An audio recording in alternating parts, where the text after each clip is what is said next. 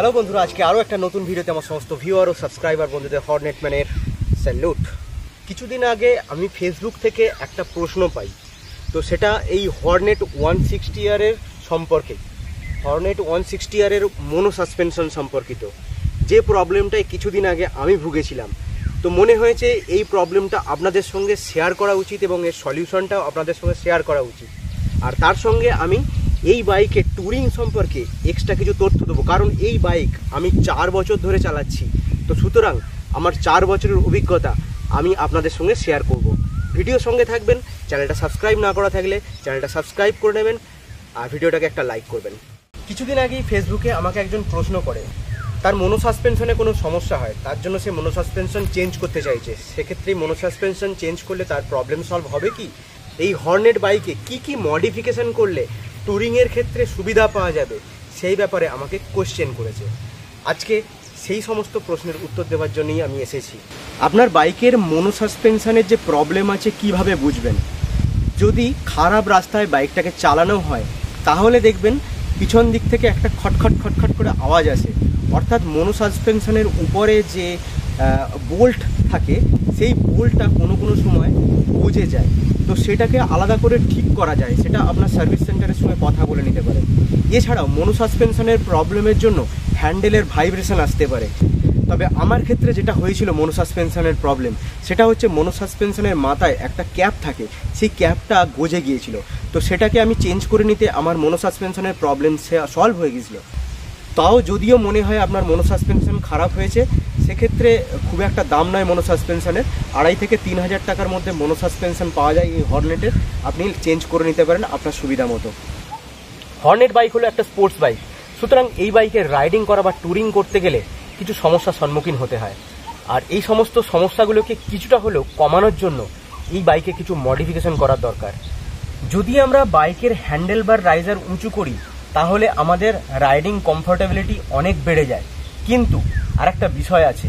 যদি হ্যান্ডেল বার রাইজার লাগানোর পরে সিটটাকে যদি আমরা মডিফিকেশন করে উঁচু করি, তাহলে এই হ্যান্ডেল বার রাইজার লাগানোর কোনো ফলই পাওয়া যায় না।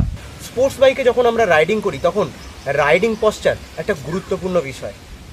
আমরা যখন রাইডিং করব, তখন আমাদের যে পায়ের এই যে অ্যাঙ্গেলটা, এই অ্যাঙ্গেলটা যদি নব্বই ডিগ্রির থেকে কম হয়, তাহলে কিন্তু রাইডিং কমফর্টেবিলিটি অনেক কমে যায়।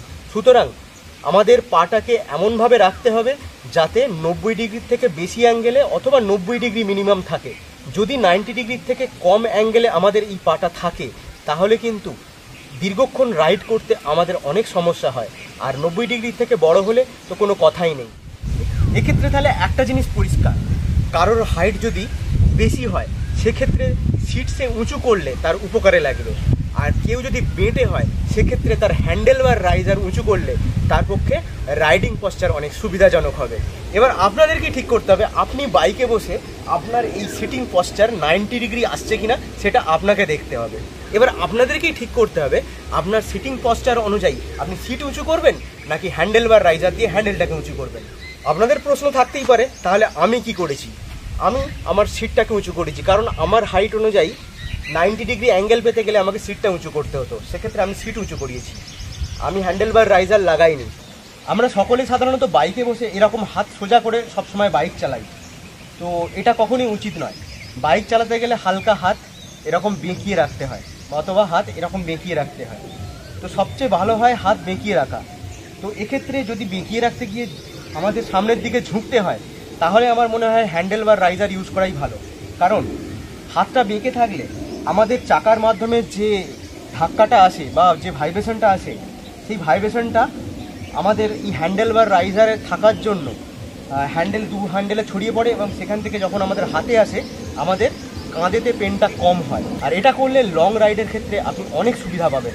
এখানে আরেকটা পয়েন্ট আমি অ্যাড করব। লং রাইডের ক্ষেত্রে হ্যান্ডেলের লাস্টের দিকে এইখানে যে টুপিগুলো থাকে, এগুলো যদি ভারী মেটালের লাগানো যায়, হ্যান্ডেল ভাইব্রেশন অনেক কম হয়। তাছাড়াও হ্যান্ডেল ভাইব্রেশন কমানোর জন্য এখানে দুটো মিররের মধ্যে একটা রড পাওয়া যায়। সেই রড ইউজ করলে হ্যান্ডেলের ভাইব্রেশন অনেক কমে। আপনার বাইকের লং রাইডের ক্ষেত্রে ওই উইন্ডশিল যত বড় করবেন, হাওয়ার গার্ড তত বেশি ভালো হবে। আর হাওয়া যদি গার্ড করে, সেক্ষেত্রে হ্যান্ডেলের ভাইব্রেশন অনেক কমবে, রাইডিং কমফোর্টেবিলিটি অনেক বাড়বে এবং সহজে আপনি টায়ার্ড হয়ে পড়বেন না। কিছুদিন যাবৎ আমি চ্যানেলে কোনো রকম ভিডিও আপলোড করিনি। দু হাজার তেইশ সাল শুরু হওয়ার পর থেকে আমি কতগুলো অ্যাডভেঞ্চার ভিডিও আমার চ্যানেলে আমি দিয়েছি এবং নতুনভাবে ভিডিওকে ক্রিয়েট করার চেষ্টা করেছি। আর আমার অ্যাকশন ক্যাম একদমই পুরোপুরি ডিস্ট্রয় হয়ে গেছে। তো যার জন্য আমি কোনো রকম রাইড করতে পারছি না। খুব তাড়াতাড়ি আমি অ্যাকশন ক্যাম্প কিনবো। তারপরে নতুন ভিডিও আসতে থাকবে।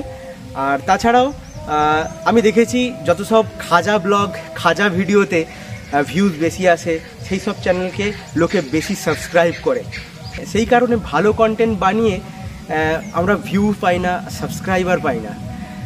আপনার সাবস্ক্রাইব করতে কোনো রকম খরচা হয় না বা কোনো রকম কোনো কিছু যায় আসে না। কিন্তু আপনার এই সাবস্ক্রিপশন আমার চ্যানেলকে বাড়াতে অনেক সাহায্য করে, আমার মনোবল বাড়াতে সাহায্য করে এবং ভিডিও তৈরিতে ইন্সপিরেশন দেয়। এবার ব্যাপারটা সম্পূর্ণ আপনাদের হাতে চ্যানেলটা সাবস্ক্রাইব করবেন কি করবেন না। আর আজকে দেওয়া তথ্যগুলো যদি আপনার কাছে ইনফরমেটিভ মনে হয়, তাহলে ভিডিওটাকে শেয়ার করবেন সাবস্ক্রাইব করতে বলব না চ্যানেলটাকে, ভিডিওটাকে লাইক করবেন। দেখা হচ্ছে আপনাদের সঙ্গে পরে আর একটা নতুন ভিডিওতে, ততদিনের জন্য বাই বাই হর্নেট বাইক একটা স্পোর্টস বাইক আর স্পোর্ট বাইক হওয়ার জন্য এই বাইকের রাইডিং হ্যাঁ ডেকে নে ডেকে নে।